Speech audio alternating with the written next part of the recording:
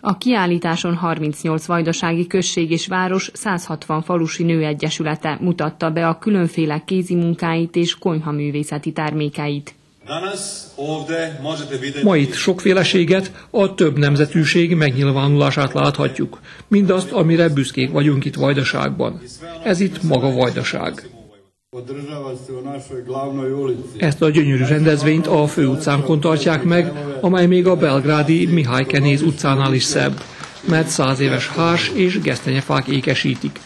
Számomra öröm, hogy a városunkat most mindenkinek megmutathatjuk, méghozzá ilyen szép időben.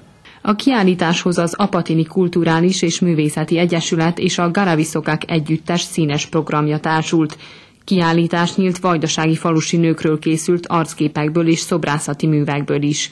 A rendezvény célja, hogy általa is elismerést nyerjen a falusi nők munkája, továbbá aktiválják a kézműves foglalkozást, amivel hozzájárulhatnak a helyi közösségek fejlesztéséhez.